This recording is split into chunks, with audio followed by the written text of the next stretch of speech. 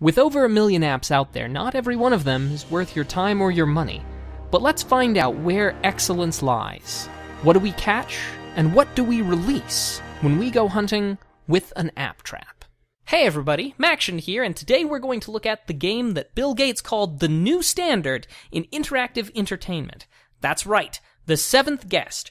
Released on CD-ROM in 1993, it got an Android port just last week. Now, I say Android port, but sadly, it's not actually been ported to Android, as it is so much that the seventh guest is being emulated on Android. Granted, through very official channels, but still emulated. And that brings with it some little problems, but, but we'll get to that. For those of you who are not already aware of what the seventh guest is, it is a point and click adventure game. Now, the point of it is to solve all of the puzzles and really find out more of the story as you go, as told in these little cutscenes. Now, I could call it a horror puzzle game, but it kind of just barely straddles that divide between slightly creepy in content and horror. Um, I doubt very much that most people are going to be scared by it, so I'll stick with point and click adventure game. I will say there are a couple points in time where this game falls flat on its face. They did a pretty good job of updating the control scheme so that it uses a touchscreen rather than a keyboard and a mouse.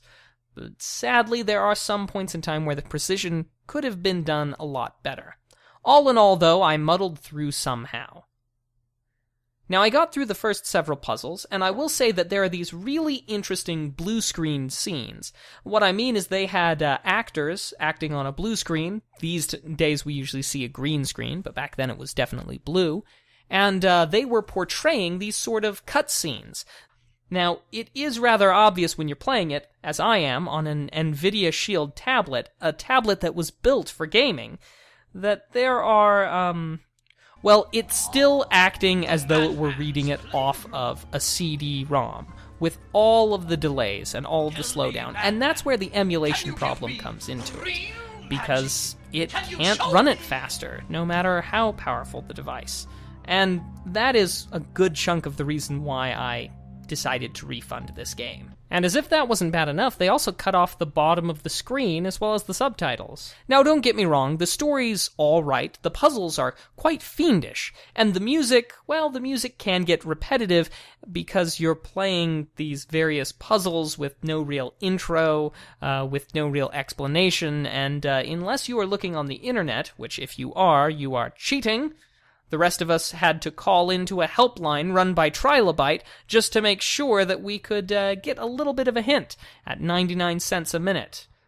Ah, the struggle was real. For those of you who are playing it today, you can certainly check the solutions on the internet, and nothing's really been changed from the 1993 release. For both better and worse, of course. Is this game worth $5.99? Not for me.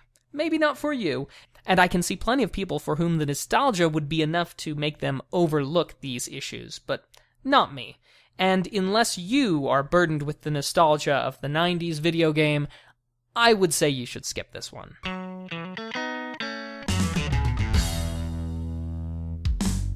Thank you so much for watching. I hope that you've enjoyed, and if you have, a comment or a like goes a long way. Clicking on any of the videos will take you to a corresponding playlist for conventions, reviews, tutorials, and even Android games. And be sure to be subscribed so that you will be notified of new videos as they come out. Thanks again, and I'll see you around.